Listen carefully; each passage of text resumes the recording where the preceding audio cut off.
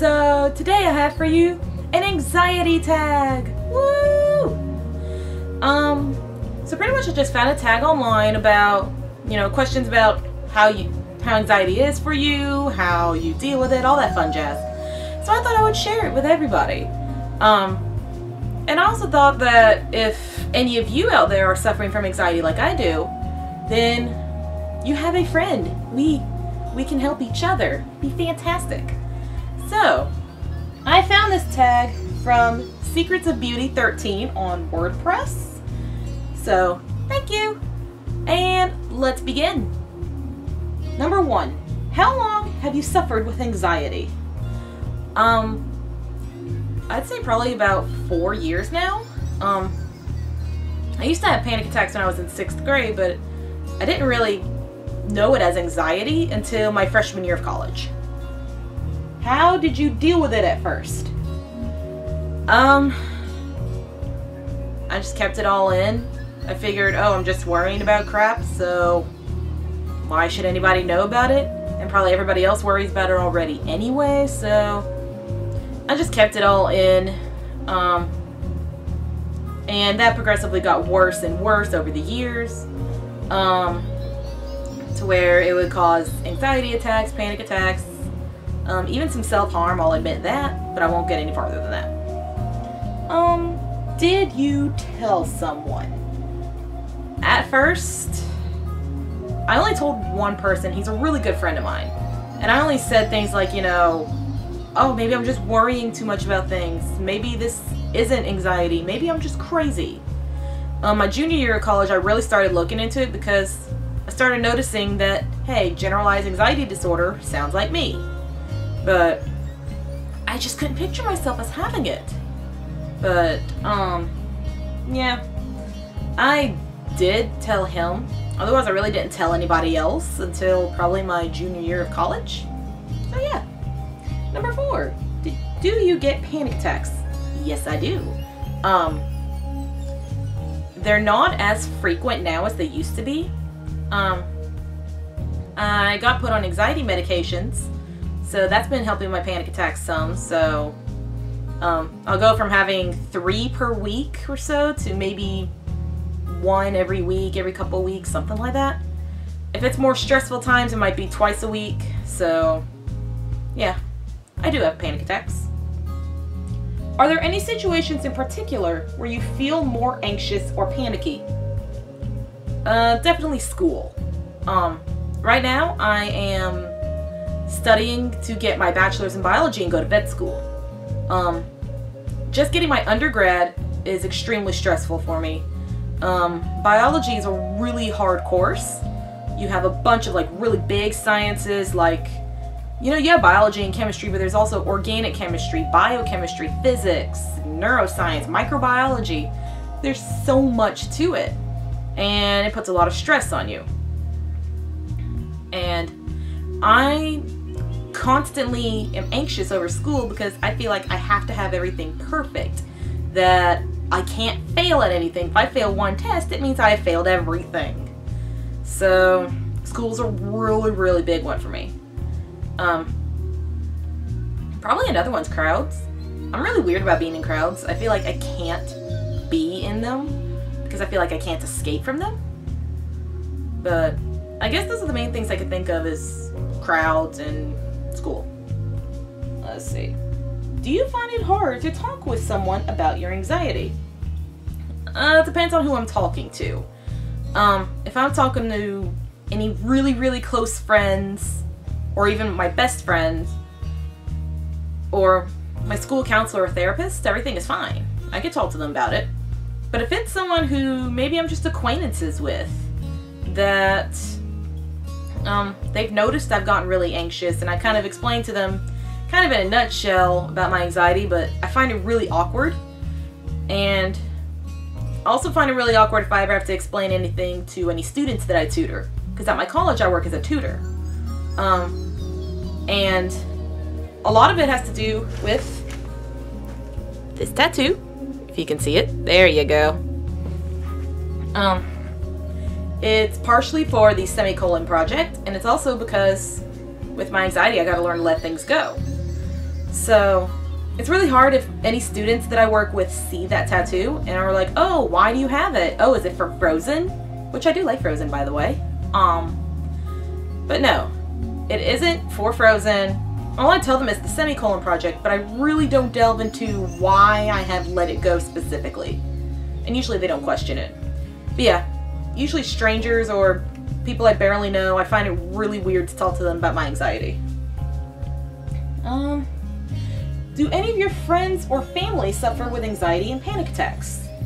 Yes, actually, my mom suffers with anxiety and panic attacks. Um, I actually have a lot of friends that have come up and told me that they have anxiety, they get panic attacks. Um, I've got one friend with social anxiety. I've got another with just, think hers is social anxiety too. A lot of my friends have social anxiety actually. I really haven't met any that have generalized anxiety like I do, but yeah, I've actually had a lot more people come to me and tell me they have anxiety. And that's always a surprise to me because, I don't know, it just surprises me. Let's see. Is there anything you do to feel less anxious or panicky? Um, there is some stuff that I'll do, some healthy, some not so healthy, I'll admit that. Um, for healthy things, I do deep breathing. I usually will inhale for five seconds and then hold my breath for five seconds and then exhale for five seconds and hold my breath for five seconds. And I kind of have to like make a beat to go along with it to remind myself not to go too fast or too slow. And for some reason, focusing on the inhaling and exhaling as well as keeping that time helps to bring my anxiety much better. Back down. There we go. uh, I'm not good with words. Um,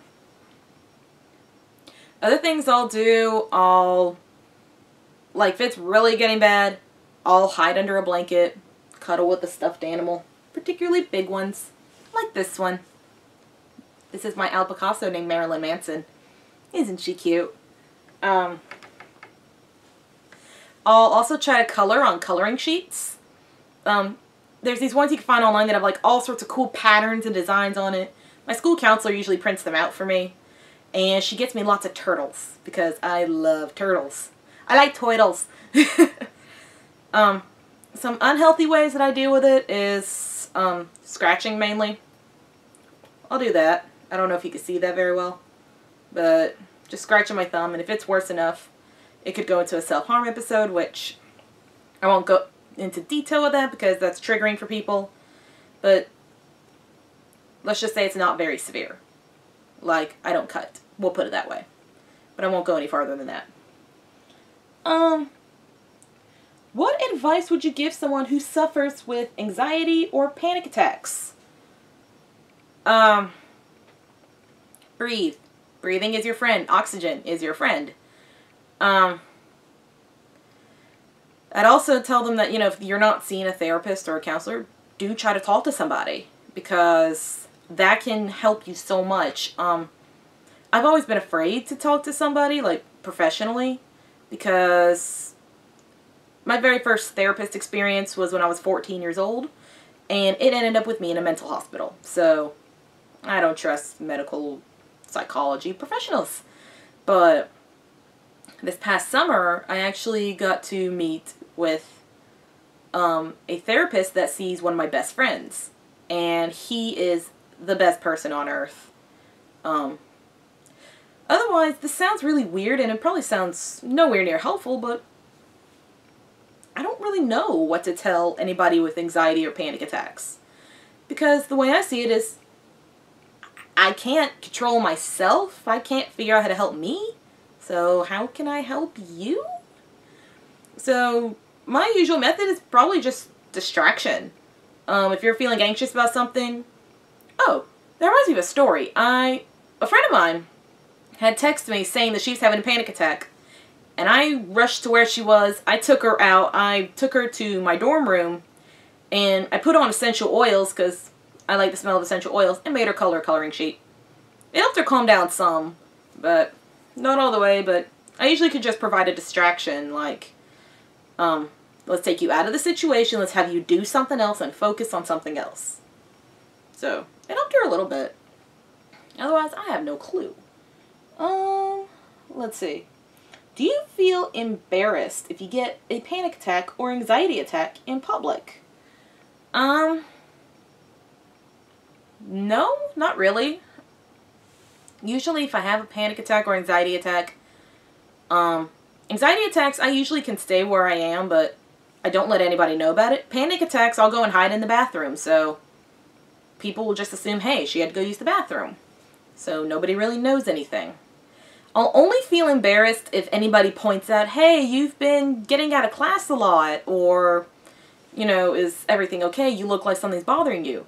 If it looks like someone knows that something's going on, then I get embarrassed, but if no one can tell, I'm perfectly fine. So, yeah, that's about it for the anxiety tag. Thanks, guys, for listening in. And if you have any questions, comments, concerns, want to talk, write down in the comments, direct message me.